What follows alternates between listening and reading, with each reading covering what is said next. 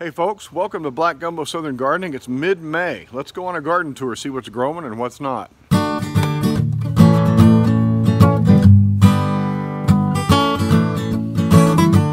Okay, so here in zone 9A, I am on the Texas coast and um, yeah, it's starting to get warm.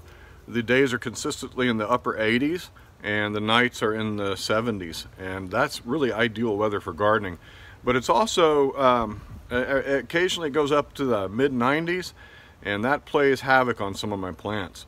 Um, I've got a lot of plants interplanted this year in my garden, intercropped, and um, that's really helped me not have many pest problems this year. I haven't seen many pests at all. Uh, it's brought in the bees with all the pollinator attractors I've got in the garden, and that's been a good thing. But um, I do have some problems though. I've got some diseases, and I've got some blight on my tomatoes, on some of my tomatoes, and I've got some odd things going on that I'm not quite sure about uh, where one tomato is really healthy and right next to it I've got another tomato that's actually dying. And I think that um, there's got to be some something viral or bacterial uh, maybe fungal but you know the soil is the same soil. So that's why I think it must be something viral or bacterial. Hey that happens you know it's gardening. And I've told, told you I'm going to show you my successes and I'm going to show you my failures. If something doesn't go right we're going to talk about it because we can all learn from that together. So let's go take a look around all right, we'll begin our tour right here on the patio. I've got a lot of potted things here. I've got my jalapeno pepper from last year. Doing really well, actually. Putting on some peppers. My basil over there is really at this at that perfect size where the leaves have all the aroma that's not yet skunky, hasn't tried to bolt yet. And uh, yeah, that's how I like basil at that size. Uh, yeah, some peppers over here doing well. These beautiful flowers. I love these things. So prolific.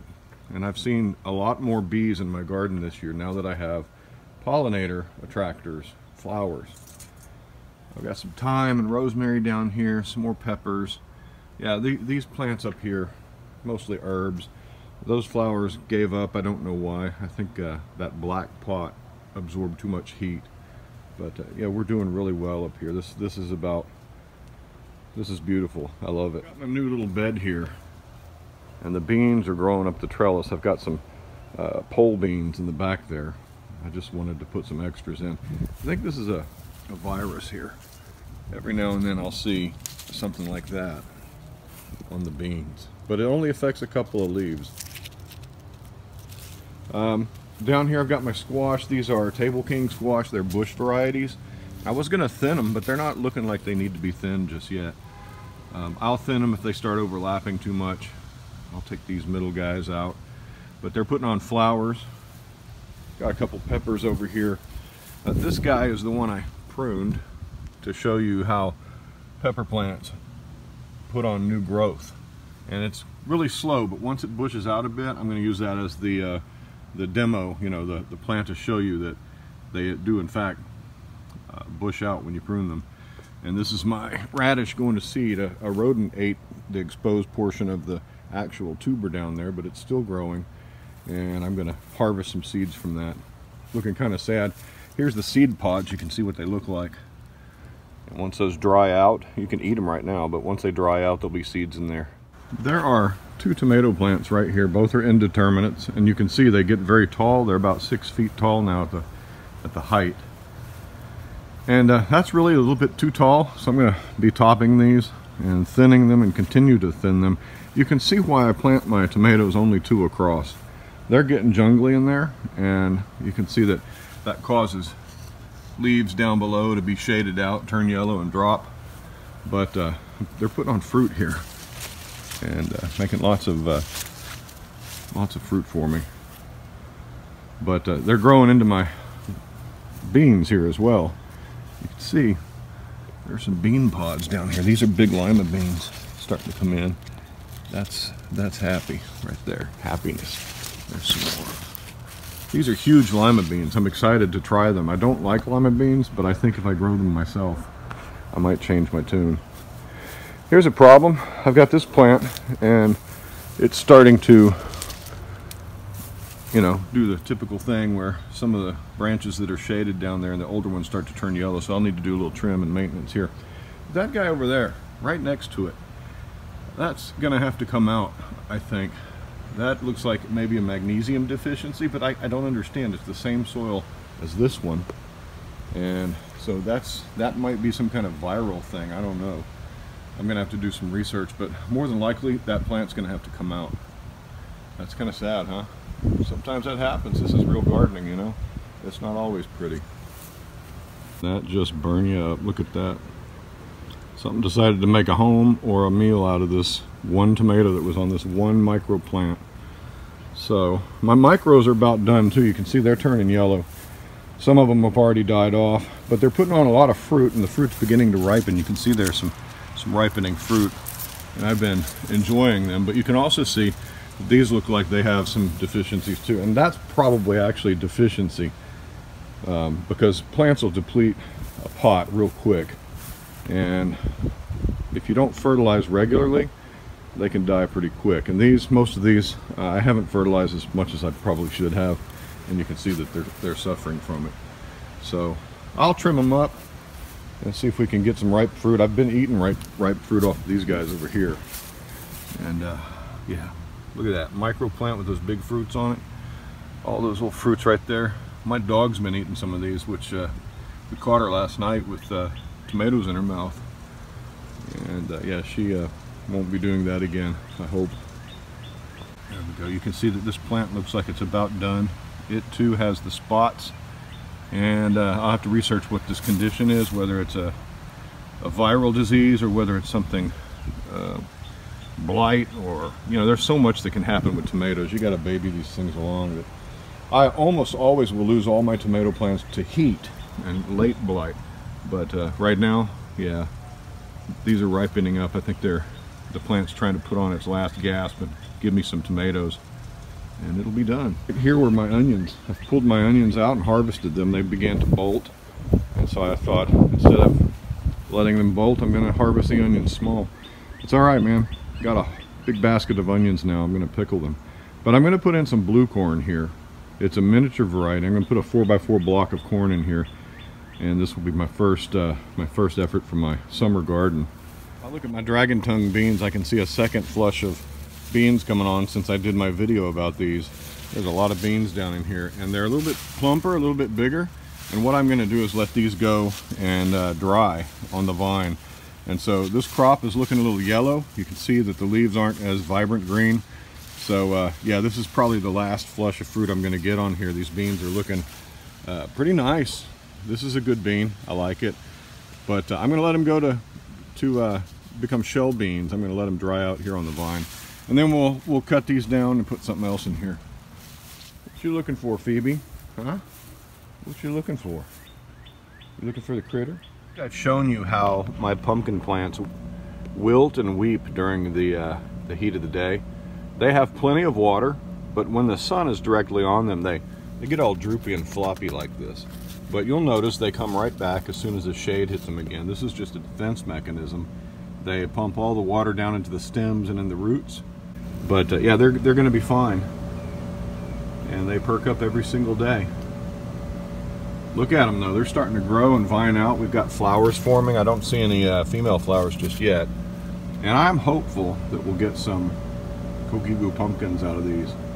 There's another lizard that doesn't think I can see him. Actually, that's a female. So uh, yeah, yeah, pumpkins, pumpkin pits, doing quite well. Wash my zucchini, putting on these huge fruits. My zucchini has uh, problems with powdery mildew. You can see that leaf right there, and these that are succumbing to powdery mildew. And I'm just letting them go because I'm only going to get a few more squashes out of these before the plants are just done. And uh, that's what happens when you get powdery mildew. It kills the leaves little by little. And you can see down there, there's a fruit that didn't get pollinated. But uh, yeah, these these were real happy. Um, these put on a lot of fruit for me. I can see one peeking out right there. I've been eating a lot of these. I've got a lot of them in storage. And uh, yeah, I really enjoyed this uh, zucchini this year. But these will come out soon and provide space for my summer gardens. I've got one, two, three, four, five. So this whole area right here will be space for summer garden crops. And I'm not entirely sure what I'm going to grow yet for summer, but uh, that'll be room. You saw my video on growing beans in pots. This is the Chinese long bean that is now growing and putting on some blossoms. I saw some blossoms on here the other day. There's a lot more. Uh, this will put me into some Chinese long beans, and I really love those. So that pot is supporting this plant just fine. There are three, three or four plants in there. Uh, right next to it are my sweet potatoes in pots. I'll probably need to trellis these when they get a little bit bigger. They're starting to vine out, but they took just fine. Uh, my green beans are starting to put on blossoms over here as well. These are pole beans, and yeah, I should have had a higher, I should have had a higher trellis, but I, I didn't have the material. So these guys, once they reach the top, they just kind of go where they want, and they'll flop down and cascade down the other side. I'm looking forward to some beans here. Probably need to hit these guys with some nitrogen, some fish emulsion. I did trellis my cucumbers here. These are Armenian cucumbers. And I trellised about half of them and the rest I'm going to let them sprawl because I need the ground cover to help suppress weeds. And cucumbers can sprawl, but uh, you can save, you can get straighter fruits if you grow them on a trellis. And so that's what's going on here. Down in between I've got some nasturtiums, putting on tons and tons of blossoms. Two different varieties here, real pretty flowers. And uh, that's totally an edible plant if you need to eat it. But uh, yeah, I'm looking forward to getting my first uh, Armenian cucumbers off here. I'm going to see how they pickle. But uh, yeah, real pretty, lots of blossoms. And you can see once, if you saw my video, once you trellis them, the leaves all reorient themselves and they track the sun. So it's a real nice plant, real beautiful plant. Oh, I just discovered powdery mildew on my cucumbers. All right, we got to spray because I need these guys to produce. Uh, my potatoes. I have been harvesting some red potatoes. As you can see, there's nothing growing there. These potatoes are starting to lay down. I didn't get the harvest I had hoped for out of these. Um, you know, I did get an increase, but I didn't get as much as I wanted. So I'll show you when I actually go and, and harvest these uh, in earnest. We'll dump these buckets out and dig through them and see what we get. But I'm afraid it's not going to be as much as I wanted. And some of my, my potatoes have uh, scab, which is a condition that makes the potatoes kind of ugly. Uh, you can eat, still eat them, but yeah, they're kind of they're kind of gnarly looking. But uh, I do have about uh, well, I got like about a half gallon of potatoes in the house right now uh, from here and from one other plant that I harvested. And what I'm doing is I'm putting in sweet potatoes to follow them. Since sweet potatoes are morning glories and these are nightshades, there shouldn't be any conflict um, for you crop rotation folks. This is what pollinator attractors do. Look at that. You see that guy right there? Isn't that awesome? Uh, awesome. Eggplant's looking really good. I got lots of blossoms coming on, tiny little fruits on some of those blossoms. So yeah, we should be good with some eggplant here. I do have some sweet potato slips waiting to be plugged in, and I probably should change that water. It looks kind of gnarly. Take us, take a whiff of that, Sam. See if it's any good. yeah, so we need to change that water. But these will go in soon when my potatoes come out. Again, these squashes here are wilty because they're in direct sun, but you can see I'm getting some squash and I'll actually get something off of this one this year. These pumpkin pits, there's two of them. They didn't produce for me last year. I planted too late in the in the year, but this year I'll at least get some squash out of them. Let's go look at the melons. Look at these guys over the sound of the AC unit. Uh, these are a cantaloupe style melon, and I'm gonna kind of train them to just grow wherever they want, or, or let them grow wherever they want, but this one I'm going to kind of train up here. Uh, yeah, we got lots of blossoms. It's a little dense down in there. I might have to deal with that density. But you can see this melon doesn't droop much because these uh, lilies here shade them much of the day. And they're really beautiful. Phoebe, come out of there. That's Phoebe's little passageway to go chase rats and stuff. But yeah, we're looking good here. I hope to get some melons out of here. If I get melons out of here, I'm going to plant this spot every year. This right here is my cursed fig tree. I've mentioned this tree for years on end because this fig tree for years on end has not produced any fruit. It is a Ischia. I don't know if it's a white or a green Ischia. Just came from Baker Creek as a tissue culture and was labeled Ischia. But I got to pull that thing out. I need I need things to produce and if it's not producing for me then I need to you know get that thing out of there so yeah its time is limited look in here you think it's going to fruit because it puts on these little nodules here but it should have figs on it already and it doesn't ironically I'm preaching on the cursed fig tree this year or this uh, Sunday from Matthew so uh, maybe I'll make an object lesson out of this one huh All my potted fig trees, they start to look the same during the evenings and afternoons when they've had it with the sun. They start to wilt a little bit as well. Here's something unusual though. Look at this leaf structure on this fig and the same plant, if you follow this up, all of a sudden has uh, different kinds of leaves. I've seen this on a lot of different fig trees. But yeah, the figs are doing well. Uh, most of them are putting on lots of fruit. And this fruit will, if I get it, uh, be very delicious. I love figs and I'm trying to find my five favorite fig trees. Um, all these are putting fruit on now. If my dog doesn't eat them, my dog is a fig eating dog and she gets up in here and likes to swipe figs. There's a tiger stripe, LSU tiger stripe. I don't really like those too much. We'll see. You got to give a fig about three or four years of tasting before you make a decision. Because the more mature a fig tree gets, the better its fruit tends to be. Cilantro going. Here are my russet potatoes. I hilled them up. They're looking really healthy. I mean, that's about the healthiest plant in my garden right there, I bet. No bugs, no slugs, nice and sturdy. It's in a good growing space.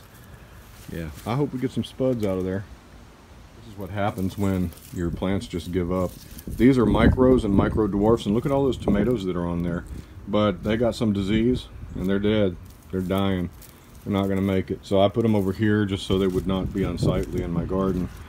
And uh, kind of sad. I really wanted to try all these fruits. I don't know. I might pick them and see if they ripen. You know, a lot of tomatoes, if they've got some color to them, you can ripen them on the countertop. If they don't have color to them, usually that doesn't work well. But yeah, these these are done. Isn't that the saddest thing you ever saw? Mustard greens, they love the heat. They took off. They're doing great. To be eating some mustard greens. Maybe today. No bugs in there whatsoever.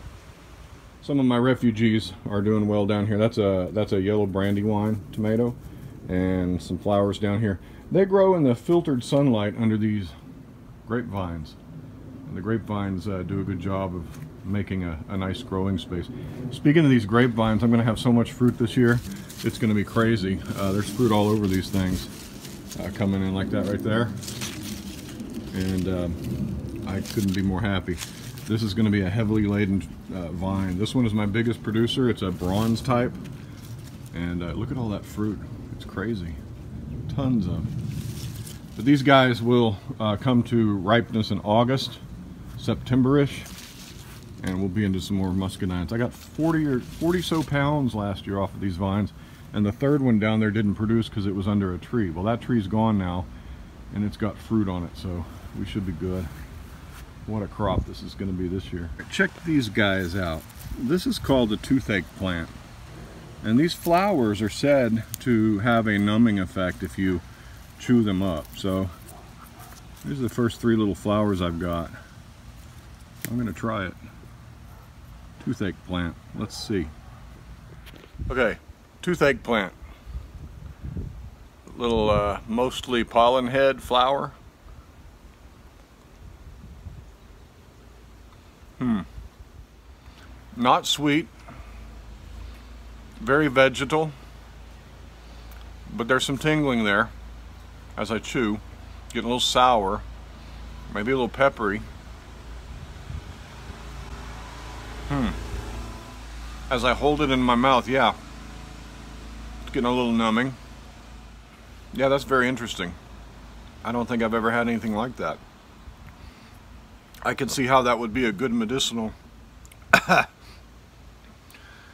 yeah, don't swallow it. don't swallow it. Hmm. It's still building.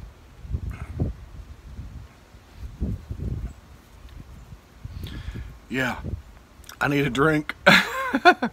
Whew, man, okay folks. When you use a medicinal flower that is a numbing flower, don't accidentally swallow it. I couldn't talk for a while. My family was like, what's wrong with you? Why can't you talk? Yeah, that, that was weird. Uh, I can still feel it. It's been about 20 minutes, maybe 15 minutes since I munched that flower head. And uh, I can still feel the numbness on the side of my mouth where I chewed it. Uh, I swallowed a little bit of it and um, that numbed my vocal cords actually.